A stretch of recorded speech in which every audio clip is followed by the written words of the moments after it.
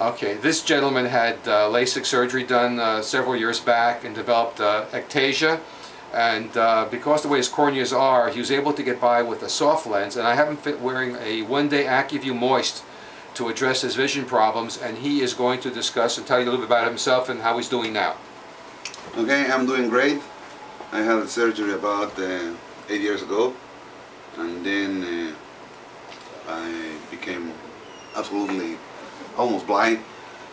I have a, 12.5 in each eye and I was doing very bad but uh, then uh, I used uh, these piggyback lenses, uh, the soft and the hard one in each eye and then uh, I went to Chile and then they gave me some lenses supposedly um, special for these uh, cases.